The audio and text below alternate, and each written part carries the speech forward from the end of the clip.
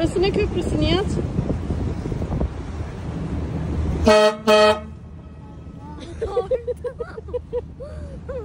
Çekil önümden diyor bak bu taraftan.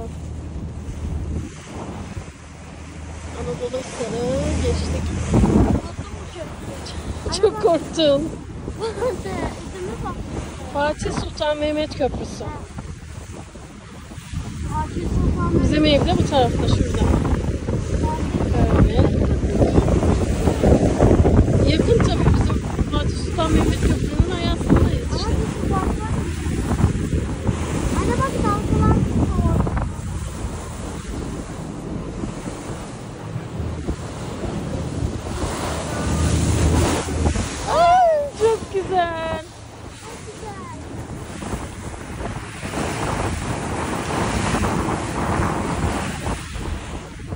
Biraz sonra çekeyim.